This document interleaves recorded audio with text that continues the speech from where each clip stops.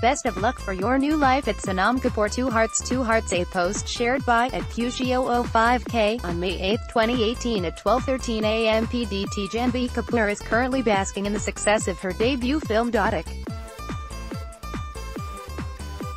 Yesterday, she had revealed that both her dad Boney Kapoor and sister Khushi Kapoor had become emotional after watching her on the big screen.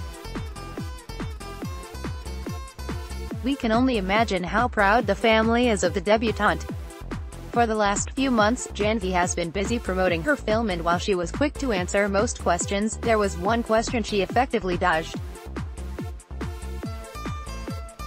She was asked whether Khushi would join Bollywood as well, she said she'll leave it to Khushi to answer that for herself.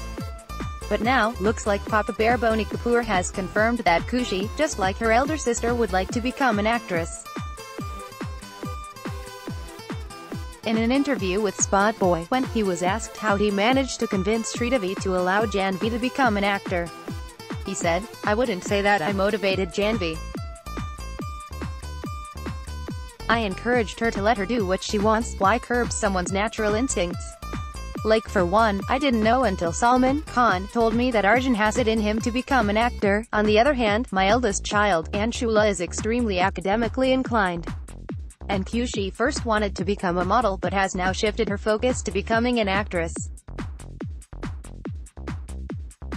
Previously, Sridevi had revealed in an interview that her younger daughter Khushi wanted to get into modeling.